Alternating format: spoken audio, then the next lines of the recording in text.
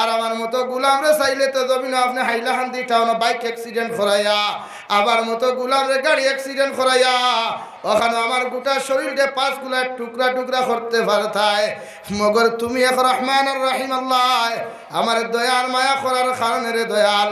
I দুহর রক্ত, কার আসর রক্ত, সুন্দর মতো দু করিয়া, তুমি মালিকর সামনা খান আমি গুলামাইয়া দাঁড়াইছি রে দয়াল।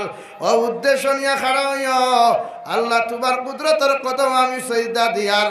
হয়তো জীবনের শেষ সৈদা খান তোমার কুদরতর কদম দিয়ার। কারণ কত মানুষ দেখলাম, প্রথম সৈদা দিল। দ্বিতীয় নম্বর সৈদার থাকি আর মানুষ কোনো সময় খল্লা তুলে না। কত মানুষ রুকুত গেল রুকু থাকি আর দাঁড়ায় না। কত মানুষ দেখলাম বসে তো সহুদর হালত বইল। আর মানুষের নড়াচড়া পাওয়া যায় না। ও দিলেও কত খান লইয়া হয়ে গল্লা। আবার মতো এখন নাকাস্তা গুলামের সম্মানের ইজ্জত দেওয়ার কারণে আজ কোটি কোটি কোনো মখলুকাতের কদম সৈদা দেয় নাই। তোমার মতো মালিকর কদমায় আমি অনেক গুণাগারে সৈদা দিয়ার। যদি আমার জীবনের শেষ সৈদাটা হয়ে যায়, আল্লাহ আমার জীবনের গুণাটারে মাফ করিয়া ওই সৈদা তাকে আমার মাসুম বানায় ঘুরে দিও। সুবহানাল্লাহ। এইভাবে যখন একজন গোলামে একজন বান্দায় যখন আল্লাহর কুদরতের কদমকে সৈদা দিবা ওই সময় এখানে ফরিস্তে আল্লাহর কাছে কইবা, গো আল্লাহ, তোমার গুলামে দেখলাম সিরাজ ফট্টি থাকি লইয়া লালা বাইপাস পর্যন্ত কত বেটাগিরি করল। এখন তোমার সামনা খান হয়ে দেখি মেকুরের মতো হয়ে গেল গিয়া। এত দুর্বল আর নরম কোন কারণে হইল? ও সবাই এখন আল্লাহ ফরমাই না ফরিস্তা হল আমার বন্দায় জানে আমার তাকি তড়পা করে আমার তাকি আজাব দেনওয়ালা।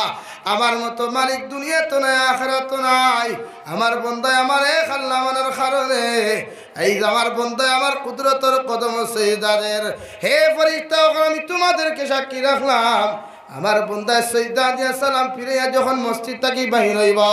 যেমন একটা মায়ের গর্ভাবস্থা দেখিয়া দুনিয়ার সন্তান মাসুম বা আপনার প্রসব জমিনের মধ্যে করে আমি আল্লাহ আমার গুলাম রে আমার কুদরতর কদম তাকি বিদায় দেওয়াইতে ওলা মাসুম হিসাবে বিদায় দিয়া দিমু হইন সুবহানাল্লাহ হে কোরআনে কারিমার মধ্যে আল্লাহ তাআলা ফরমান নবী ওয়া'মুর আহলাকা বিস-সালাহ واصطبر عليها لا نسألك رزقا نحن نرزقك والعاقبة للتقوى হে নবী দুনিয়ার সমস্ত কামিয়াবি নামাজের মধ্যে আপনারা আমি আল্লাহ তালা হয়ে নামাজ পড়িয়া যাও।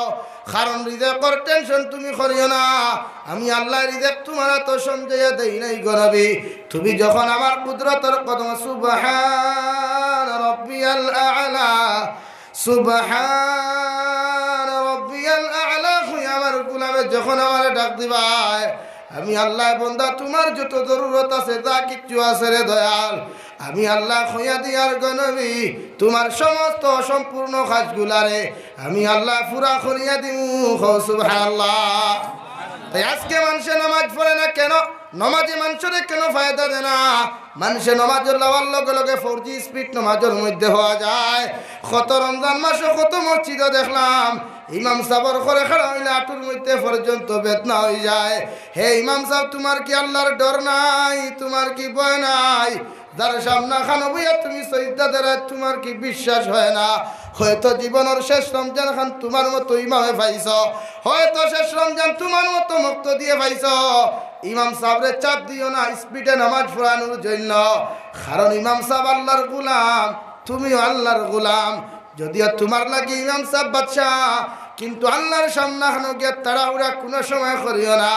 যদি সামান্য বেদবির লাগে যদি আল্লাহ নমাজটা না গোসে আর না গোসা অবস্থায় যদি তোমার জীবনের শেষ নমাজটা হয়ে যায়, আর জীবনের সময় খানো যদি তোমার ইন্তেকাল হয়ে যায়, জানিয়া রাখি কোনো পৃথিবীর কোনো মানুষের তোমার মায়, তোমার বাবায়, তোমার পীর মুর্শিদে, তোমার কোনো যত বড় হকানি আলিম তা হকানা কেন তোমার জাহান নাম তাকি বাঁচানো সম্ভব না, এখন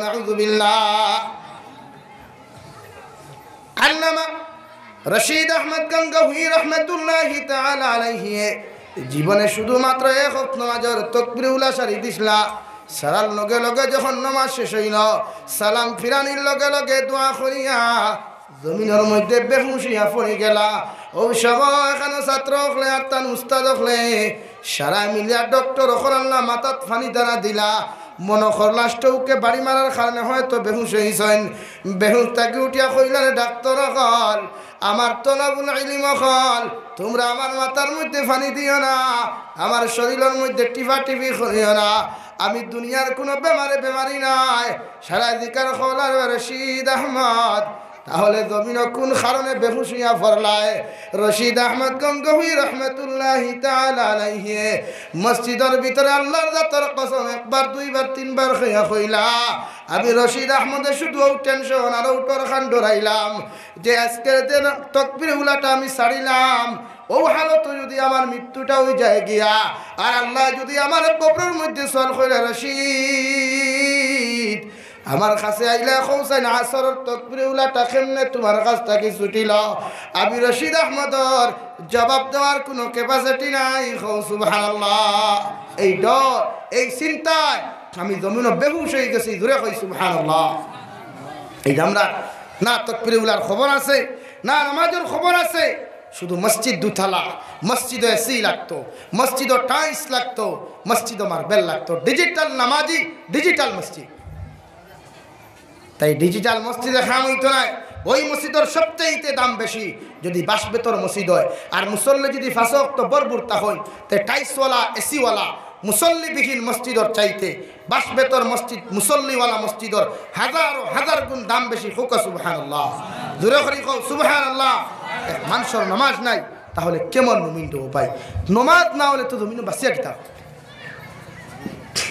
মা তার ভরের গাড়ি আর বেটা গিরি ঘুরে। আমার মতো ইমানদার সিরাজ ভর্তি খেয়েও নাই। আমিও তো হইয়া তুমি দে আমরা হর আমি বলাছি। তুমি তো আমরা নামাজ পড়ো না। তাই নামাজ পড়াই।